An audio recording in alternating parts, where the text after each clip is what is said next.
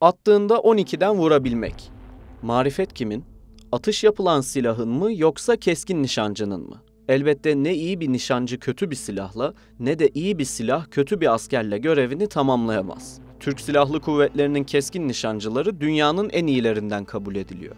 Katıldıkları yarışmalarda kazandıkları ödüller de bunun bir göstergesi. Ancak atış yaptıkları yerli ve milli keskin nişancı tüfeklerini de es geçmemek lazım. Bu içeriğimizde Türkiye'nin geliştirdiği keskin nişancı tüfeklerine yakından bakacağız. Ayrıca keskin nişancı tüfeklerinin farkları, birbirlerine göre üstünlükleri ya da zaaf noktaları gibi güzel detayları da paylaşacağız. Hazırsanız hedefi 12'den vuralım. Son dönemlerde en sık duyduğumuz yakınmalardan biridir Türkiye'nin toplu iğne dahi üretemediği yıllar. Gerçekten de iğneden ipliğe her şeyi dışarıdan temin etmek zorunda kalan bir ülkenin bugün geldiğimiz noktada özellikle de savunma sanayi gibi son derece hayati bir alanda kendi başına ilerleyebilmesi çok değerli. Ortada bir başarı hikayesi var ve biz bu hikayenin en afili konularından birine bakacağız. Yerli ve milli imkanlarla üretilen keskin nişancı tüfekleri. Önce en temel soruya cevap arayalım. Türkiye neden bu alanda kendisi bizzat üretmek istedi? Sonuçta NATO üyesiyiz.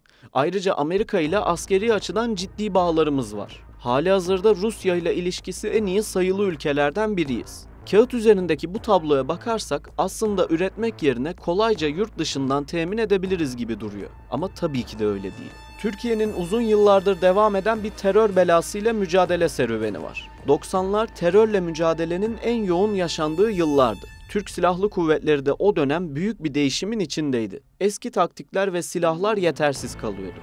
Özellikle modern bir keskin nişancı silahına ihtiyaç vardı. Silahlı kuvvetlerin o dönem piyade silahı Alman yapımı G3 tüfekleriydi. Bu tüfekler için dürbünler temin edilmeye çalışıldı.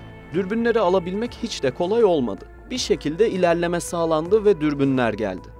Ancak başka bir sorun daha ortaya çıktı. Üzerine dürbün takılmış G3 piyade tüfekleri istenileni veremedi. Dürbün ayakları devamlı gevşiyor, haliyle atış alanında isabet oranı düşüyordu. Öte yandan bazı birlikler teröristlerden ele geçirdiği ya da Irak'taki silah pazarlarından satın aldığı SVD Dragunov tüfeklerini kullanıyordu. SVD Dragunov Sovyetler Birliği'nin 2. Dünya Savaşı'nda tecrübelerine göre üretilmişti. Anlayacağınız eski ve yetersiz bir sistemdi. Türk Silahlı Kuvvetleri yıllar içerisinde Özel Kuvvetler Komutanlığı için çok farklı marka ve model keskin nişancı tüfeğini tedarik etti. Terörle mücadelenin bel kemiğini oluşturan piyade komando ve jandarma komando birliklerinin tamamını donatacak keskin nişancı tüfeği bir türlü envantere alınamadı. Bir süre sonra özellikle yerli ve milli savunma sanayinde ortaya konan atılım haliyle bu alanı da doğrudan etkiledi. Herkes şunu biliyordu.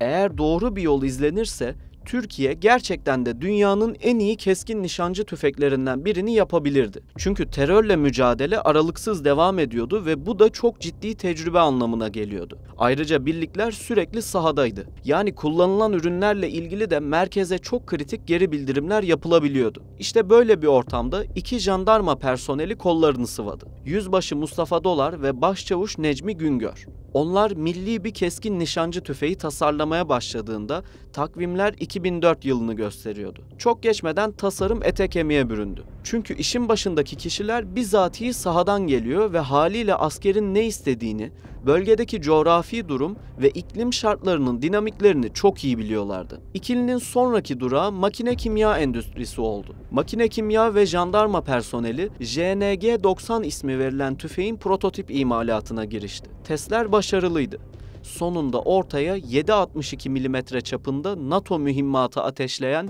ve 1000 metre etkili menzile sahip bir silah ortaya çıktı. Boş ağırlığı 6 kilo 400 gram olan silah 5 veya 10 mermi kapasiteli şarjörlerle besleniliyor. JNG-90'ın atıcıya avantaj sağlayan bir başka özelliği ise tüfeği tamamen kendi vücut ergonomisine göre ayarlayabilmesi. Bu özellik modern keskin nişancı tüfeklerinin pek çoğunda bulunuyor. Maalesef ne SVD Dragunov ne de üzerine dürbün takılmış G3 piyade tüfekleri böyle bir özelliğe sahip değildi. Bir diğer farkı da tüfeğin tetik çekişinin ayarlanabilir olması. JNG-90 tüfeğinin tasarım süreci 2008'de bitirildi ve seri üretim başladı. Tüfek günümüzde JMK Bora 12 ismiyle biliniyor. Türk Silahlı Kuvvetleri'nin keskin nişancıları bu silahı kullanıyor. Azerbaycan, Kırgızistan, Suudi Arabistan ve Türkmenistan'ın bu silahı satın aldığı biliniyor. Şimdi herkesin en çok merak ettiği konuya gelelim. Bu silahın isabet başarısı nasıl? Bu soruya cevap ararken süreci daha iyi anlayabilmek için MOA kavramını bilmemiz şart. Tüfekler fabrikadayken özel atış sehpalarına monte ediliyor ve 100 yarda uzaklıktaki hedefe 3 atış yapılıyor.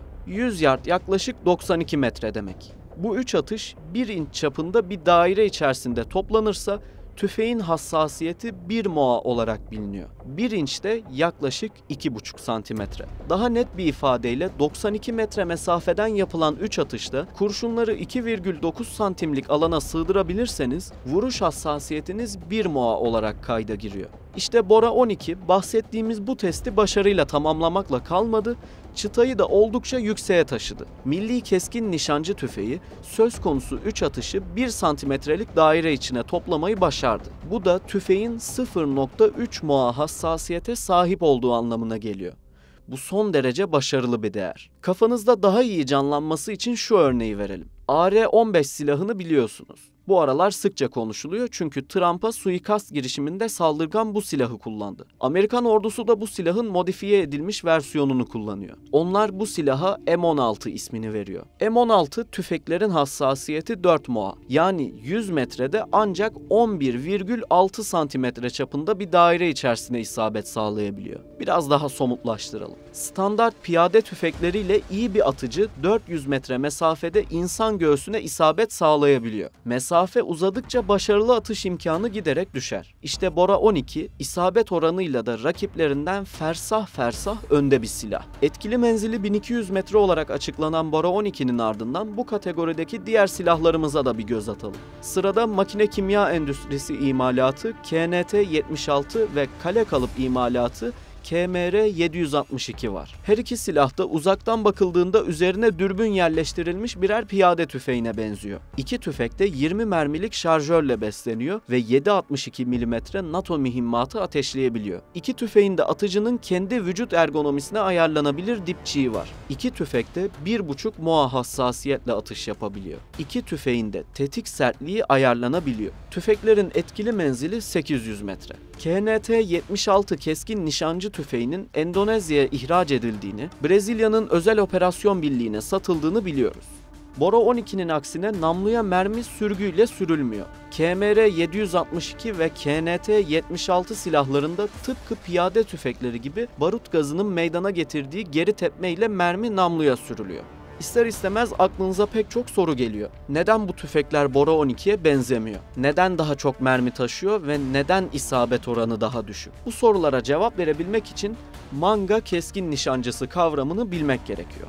Manga keskin nişancısı ve sniper ya da Türk Silahlı Kuvvetleri'ndeki ismiyle özel görev nişancısı birbirinden farklı görevler icra ediyor. Manga keskin nişancısı timin ya da bölüğün ayrılmaz bir parçası. Bu ekip doğal olarak birlik komutanının seçtiği hedeflere ateş eder. Örneğin bir komando kolu düşman makineli tüfeği tarafından ateş altına alındığı zaman makineli tüfekçinin vurulması emredilir. Bunun yanı sıra seçilen bir hedefe baskı ateşi açılması emri de yine bu ekibe verilir. Böyle durumlarda keskin nişancının yüksek hızlı atış yapabilmesi gerekir. Böyle anlar isabet oranının ikinci plana düştüğü anlar olarak kabul edilir. Sürgü mekanizmalı silahlar hassastır ama atış hızı düşüktür. Ayrıca bir silahın isabet oranı ne kadar yüksekse toz ve kirin o silahın mekanizmasını etkilemesi de o denli fazla oluyor. Bu da kullanıcıya tutukluk olarak geri döner. Özel görev nişancıları ise iki kişilik timler halinde hareket eder. Her biri gizlenme ustasıdır. Arazide günlerce kalıp bir hedefi izleyebilirler.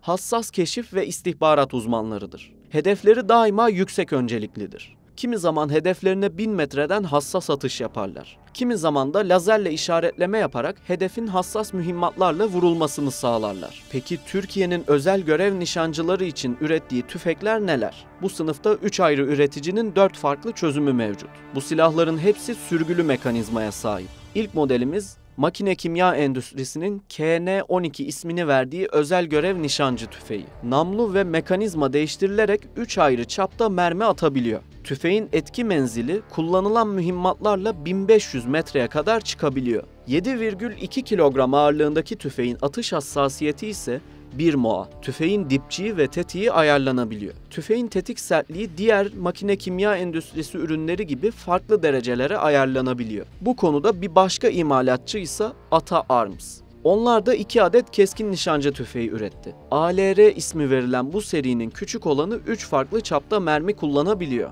Şirket boş ağırlığı 4.8 kilogram silahın sap moa seviyesinde olduğunu iddia ediyor. Bu terim 100 metreden 5 isabetli atış anlamına geliyor. Yani 1 moa değerinin daha da altı bir seviye. Tüfeğin dipçiği ve tetik çekişi ayarlanabiliyor. Firmanın ikinci tüfeği ise ASR, ailenin büyük oğlu. Bu tüfekte makine kimya endüstrisi imalatı KN-12'de olduğu gibi değişken namlu tasarımına sahip. Çok farklı tiplerde mühimmat ateşleyebiliyor. Tüfeğin ağırlığı uzun olan namluyla yaklaşık 6,5 kilogram. Son üreticimiz Konya'nın Beyşehir ilçesinde av tüfeği üreten firmaların oluşturduğu bir kooperatif olan Hulu. Kooperatifin Ovis B08 isminde 7.62 mm çapında mühimmat ateşleyebilen bir keskin nişancı silahı bulunuyor. 5 adet mermi kapasiteli bir şarjöre sahip olan silah 6 kilogram ağırlığında. Tüfek diğer tüm tüfekler gibi ayarlanabilir dipçik ve tetiğe sahip. Tüfek Amerika, Namibya, Tayland,